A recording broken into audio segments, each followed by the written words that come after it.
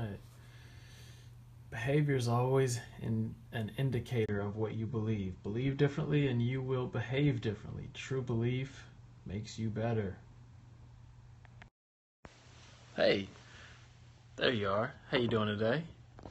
Hope you're well.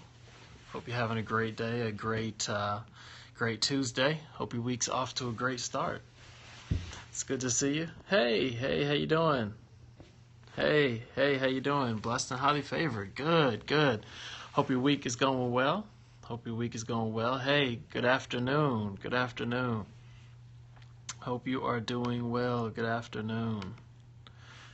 All right. Good afternoon. Good afternoon. How you doing?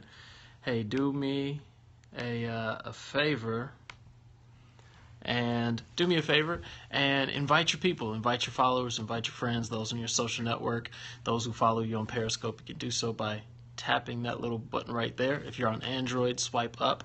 If you are on an Apple iPhone, you will be swiping to the right. So, hey, hey, what's going on, Joe? What's up? Thank you. Thank you for sharing. Thank you for sharing. Thank you for sharing. I appreciate that. Thank you for sharing. Hey, I appreciate that. Hey, the love is mutual. Thank you so much for, for your support. We uh, we try to serve as much as we can, and uh, so I appreciate that. Thank you for sharing. And today I'm going to be talking about behavior. It's important behavior.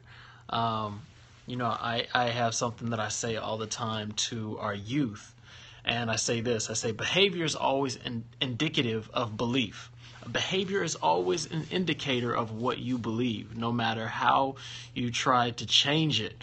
Um, it's an indicator of what you believe. And I believe that we make decisions based on our beliefs. So check it out. If you're sitting down right now, you are sitting on that chair based on the belief that that chair is going to hold your weight up, right? And so you don't sit on a chair that looks like uh, it's kind of broken, kind of raggedy. I don't know. Uh, you don't sit down on the chair. Why? Because you believe that the chair can't hold you. And I'm here to say that same with uh, same with how you are, how you're designed to function. Your behavior is an indicator of what you believe. And so, let's say you got, go to the doctor. Let's say you have some sort of sickness. You have uh, sinus infection. And let's say that sinus infection isn't confirmed to you until you hear the doctor say, okay, well, we you know tested you out and uh, seems like you have a sinus infection. And so then they give you you know prescription for some antibiotics and you know some whatever they give you, and you go and get that prescription filled, and then you start taking it. You actually start putting this stuff in your body. Now, I'm not against medicine or prescriptions, but I'm here to say that you take this little pill or you know whatever drink, whatever it is, you don't even know what's in there. You didn't create it. You didn't go behind the counter. You didn't watch mix it up. So you take this little white pill based on what somebody else told you. And so I'm here to tell you that um, that when you have that substance, you have that thing, and you're taking it, you're taking it based on the belief of what somebody else said. And so, check this out: your behavior on taking that, that prescription medicine is based on your belief that it will help you out, based on the belief that you have something that the doctor told you you have. So we're designed to be able to behave in the way and in line with what we believe. So check this out, and I appreciate all of you all who are sharing right now. Thank you so much. And if you're sharing, if you're on here for the very first time, my name is David Winston, and I like to encourage people to become the best version of them. I believe that God created all of us as amazing, capable humans and, and individuals and beings, and it's up to us to be able to work out that gift, to be able to become the best version of what we can be. And so, check this out. It says in Proverbs, pleasure to meet you. It says in Proverbs chapter 20, or Proverbs chapter 4, verse 23 in the New Living Translation, it says, guard your heart above all else, for out of it it determines the course of your life. And so what happens is your heart is so important because when seeds go into your heart, they're going to produce a behavior that reflects the things that are put in there. Isn't that powerful? And so when you believe something, you're going to behave it out. I say behavior is indicative of what you believe. And so check this out. Your belief system, your your you're inside, you are wired so much so intricately to the point that what you believe, as you put it in your mind, you put it in your heart, what you believe, the only natural expression for you to be able to show what you believe is through your five senses. And your five senses don't even have an opinion about expressing it, it just expresses it. Because behavior is indicative of belief. Because belief is so strong, it's going to have to express itself in some kind of way. And so, check this out your body, your brain is so powerful that what it really believes with conviction will work to bring to pass whatever you believe, even if it has to sabotage your own success.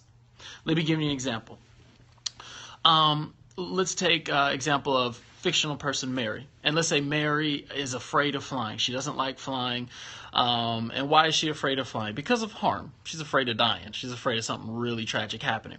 And so let's say Mary is afraid of flying and but let's say she gets a call. She lives in New York. She gets a call in Cali- from California about a dream job that she's always wanted, that she's been praying for. That she's like, man, this dream job is awesome, pulling in seven figures uh, a year. This is uh, this is the opportunity I've always wanted, and I'm going to be paid way more than I ever thought I could be paid.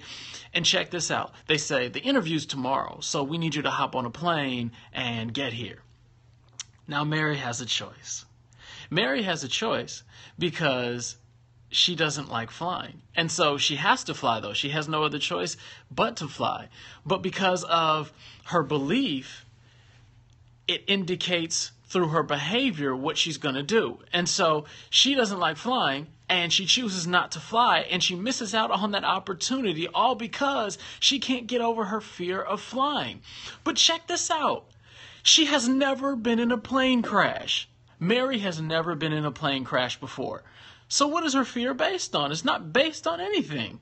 It's based on her own preconceived notion that if I get on this plane, something bad is going to happen. So, check this out. Her behavior was driven by her fear and her belief of something bad happening. And it made her miss an opportunity and sabotage her own success because of the belief that she has inside. And and I'm here to tell you that it even goes that much deeper. That when you believe um, wrong things about yourself, you will behave according to those wrong things. Give you another example. I help a lot of youth and a lot of students, and I found out that the number one reason for bad grades, and I know, you know, sometimes people don't go to class or maybe they don't study and do homework, and, and that's that's obvious. You can't make a grade in which you don't do work for. But one of the number one, how you doing? Uh, number number one things that keeps kids from getting good grades is how they see themselves. It's up here. How they view themselves, their own confidence. And I've watched it time and time again where when kids believe that they're stupid, they behave like they're stupid. And I don't believe any any kids are stupid, but I've actually watched kids who were bad in school and as we continue to encourage them and build up their confidence that I am smart, I can do it, I, I will do well, I, I, I, you know, I don't have a mental handicap, I can think then they actually begin to behave like they can do well. And because they behave like they can do well, they actually start to try at a different level. And then they start to make grades that are better that that that indicate their internal behavior, the the internal belief. And so I think you all understand and follow what I'm saying is that when they believed believe differently, they behave differently. Now, on the opposite side, when they can't believe differently, it's like the behavior is hard to change.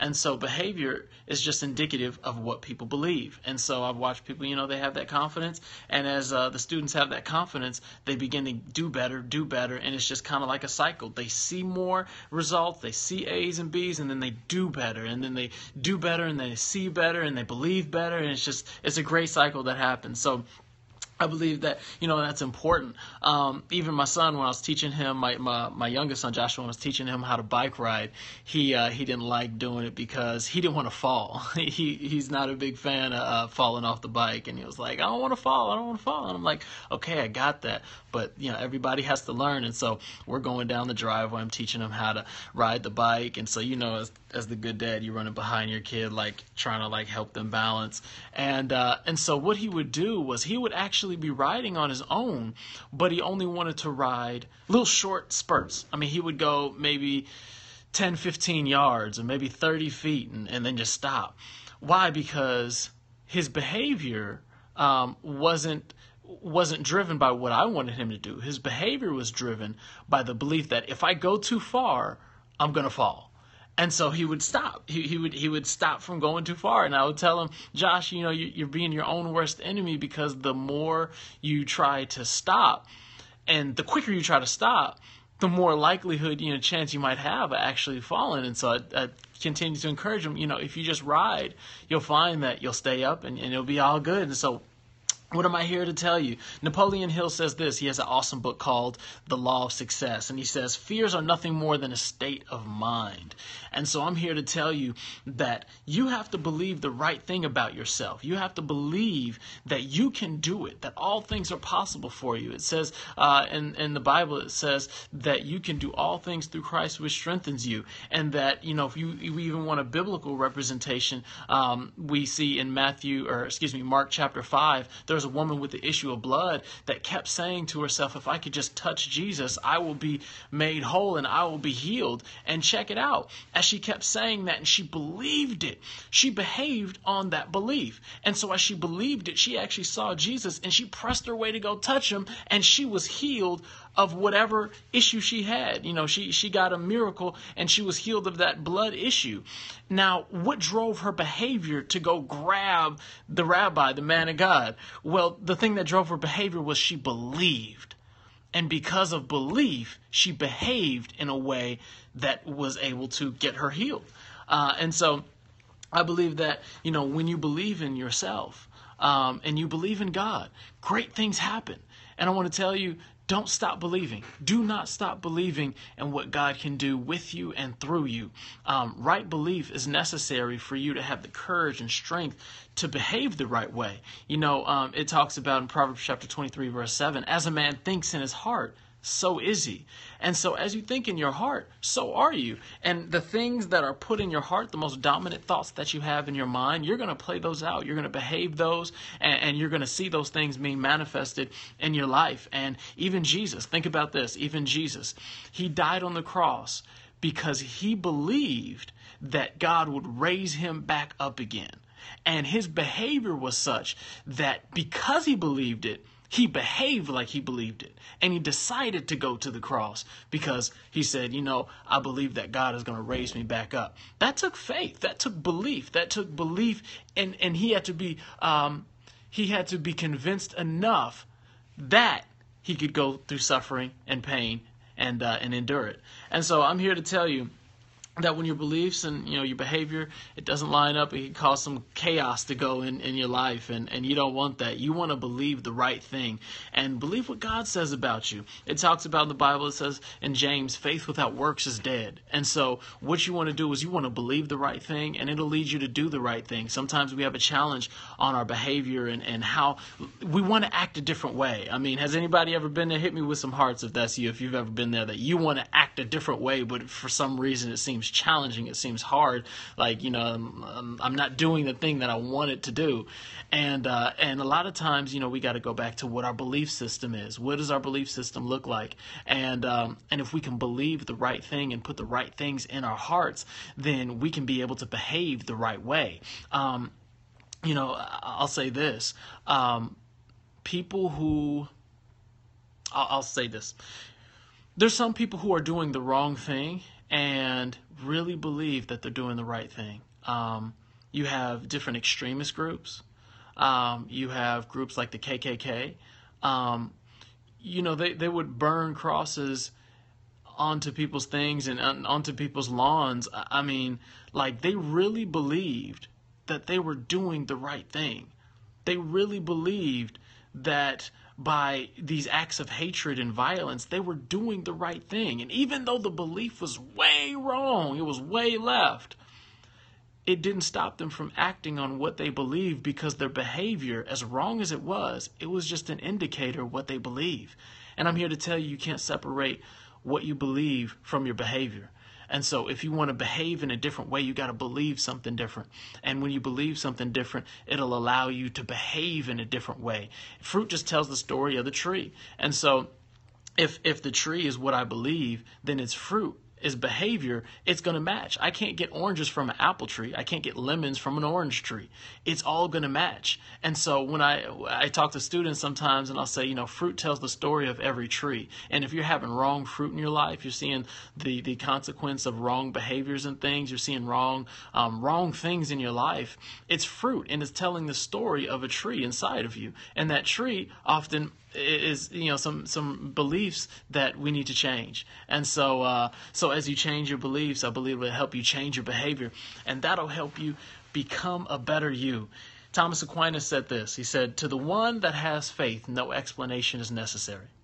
But to the one without faith no explanation is possible. And so i believe that as you behave differently It'll help you, uh, or as you believe differently, it'll help you behave differently. And as you behave differently, you'll see different results in your life, and uh, and it'll help you become the person that you really want to be. So make sure to do this for me. Share this with somebody. Encourage them to believe different and behave differently. And uh, and as they behave differently, they'll see different things in your life and in their lives. And so remember, keep fear out Fear is paralysis. It is not real. It is just meant to stop your progress. Fear is only designed to stop your progress. And often it is not based on anything real but your perception in here. And that's all it is. So make sure to share this with somebody else. I appreciate uh, y'all logging on. I appreciate all the hearts and all the love. Thank you so much. No fear here. That's right, Devin. No fear here. And so, um, so as you share this with somebody else, it'll encourage them. We'll do it again tomorrow. Remember, behavior is always indicative of belief, and uh, and as you believe differently, you'll behave differently. Thank you guys for logging on.